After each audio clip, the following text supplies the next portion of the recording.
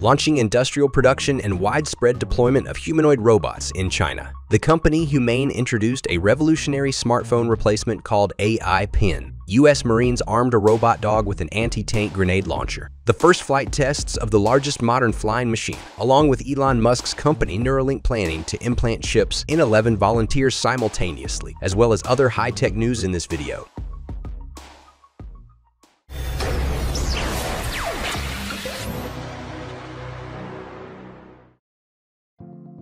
China intends to become a global leader in the production and application of humanoid robots, aiming to achieve this by 2025, according to the Ministry of Industry and Information Technology. In the near future, China plans to establish two to three large-scale production facilities for humanoid robots, along with a network of specialized small and medium-sized enterprises. Additionally, two to three agglomeration zones for industrial development will be formed deeply integrated into the real economy, serving as new important drivers of economic growth. In simple terms, these enterprises will play a pivotal role in urban development. The Chinese government believes that humanoid robots are likely to become another breakthrough technology similar to computers or smartphones that will reshape our lives and work. Therefore, by 2027, humanoid robots are expected to be a significant engine of China's economic growth. Specifically, robots will be involved in sectors such as healthcare, household services, agriculture, logistics, and heavy manufacturing. China is increasing its efforts in the automation of production and other areas, aiming to achieve a target of at least 500 robots per 10,000 workers by 2025.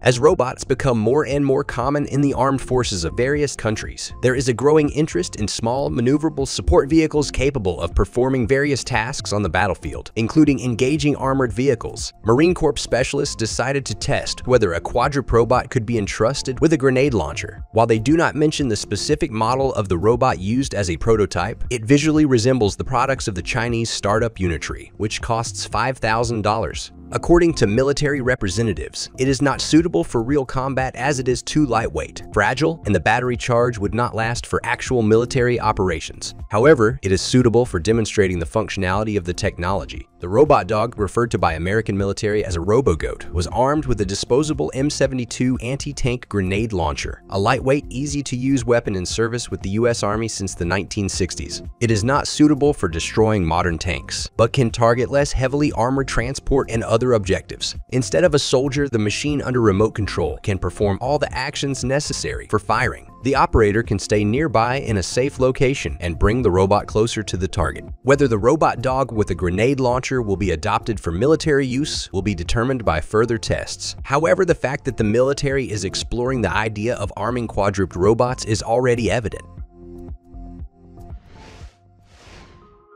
In these days, the electric airship Pathfinder 1 took to the skies for the first time, and its manufacturer LTA Research hopes that it will mark the beginning of a new era in environmentally friendly aviation. Co-founder of Google, Sergey Brin, played a significant role in financing this project. At a length of 124.5 meters, Pathfinder 1 has become the largest flying machine since the giant and infamous Hindenburg airship of the 1930s. But unlike it, it uses inert helium for lift, rather than the flammable hydrogen Pathfinder 1 is built entirely from the ground up using new materials and technologies from modern unmanned aerial vehicles, such as remote control, electric motors, and LiDARs. The helium filling the shell is contained in 13 giant nylon compartments and is controlled using lasers. The rigid protective frame, covered with lightweight synthetic material Tedlar, consists of 10,000 polymer tubes reinforced with carbon fiber, connected by 3,000 titanium fittings. 12 electric motors powered by diesel generators and batteries provide vertical takeoff and landing. The estimated maximum speed of the new electric airship is 120 kilometers per hour, but initial test flights will be conducted at much lower speeds. A series of increasingly ambitious flight tests lies ahead before Pathfinder 1 moves to Akron, Ohio, where LTA plans to build an even larger airship, Pathfinder 3. The company ultimately aims to create a family of airships to aid in disaster relief efforts and provide zero-carbon emission passenger transport. Pathfinder 1 can carry approximately 4 tons of cargo in addition to the crew, water ballast, and fuel. However, future humanitarian airships will require much greater payload capacity. The best chef robot of 2021, Moley, the world's first fully robotic kitchen, although still far from perfection, requires a fully prepared kitchen and manual ingredient preparation. This is the kind of robot we expect after watching sci-fi movies. Moley's two robotic hands will prepare full-fledged dishes for you, alert you when it's time to replenish food supplies, suggest dishes based on your available ingredients, learn your preferences, and even partially clean kitchen surfaces. However, the system comes with a hefty price tag of 340,000 for now. Still Moley is also available in a more budget-friendly version that lacks robotic hands, but includes touch screens, intelligent technology, and a recipe database. This kit comes at a cost of $135,000. Humane has released its first product, a smartphone without a display called AI Pin. It features a small laser projector that projects images onto the user's palm. In addition, it incorporates GPT-4 functions and offers intuitive control methods. The device attaches to clothing and performs nearly all the functions of a traditional smartphone with a voice assistant, making calls, setting reminders, and answering questions. The gadget can be controlled through a touch panel or a projection display that shows the image on the owner's hand. The innovation recognizes the rotation and tilt of the palm, as well as the gesture of closing the index and thumb fingers. The voice assistant operates based on the GPT-4 language model and has a wide range of knowledge. It can provide information about any product, choose a song on a given topic, and even compose and send a text message to a contact from the phone book. The built-in camera allows the smartphone to take photos with a voice command or a double tap on the touch panel. AI Pin accesses the internet through a virtual mobile operator network in collaboration with T-Mobile. The service plan for using its features is $24 per month. The device itself will be available in the US market on November 16 at a price of $699. The package includes two batteries, a rear panel, a charging case, a cable, and a power adapter.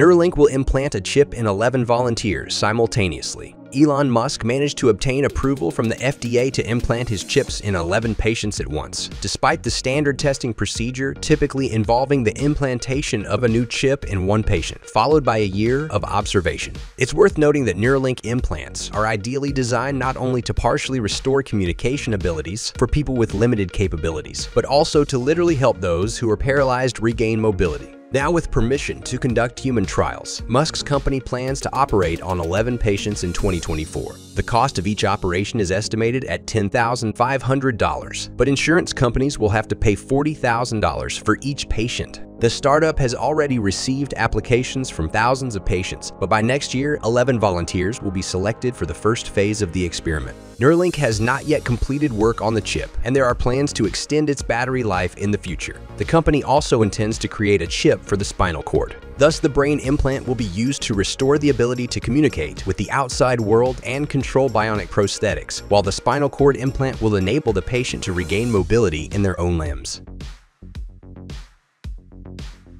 Write in the comments what you think about these new generation technologies. If you enjoyed the video, don't forget to like it and subscribe to the Carros Show channel. See you later.